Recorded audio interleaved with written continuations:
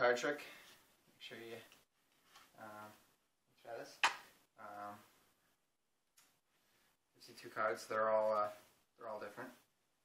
See, um, you can take my word for it. But um, what I'd like you to do is just say stop wherever you like. Stop. Right there. All right, take a look at the card.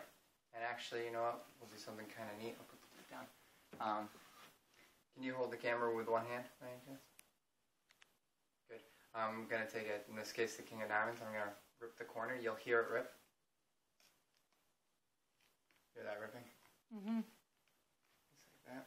While you with the other hand, take the card. Watch the corner. Just like that, the corner disappears.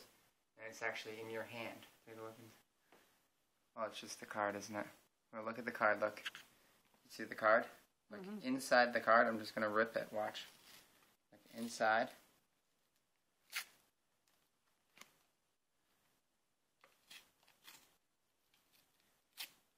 There's something inside the card. Look at that. Do you see that?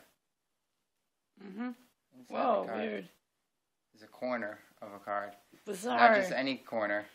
It's the corner of the very card. Just like that. It's a perfect match. Strange effect, huh? That's cool. Pretty That's cool. freaky.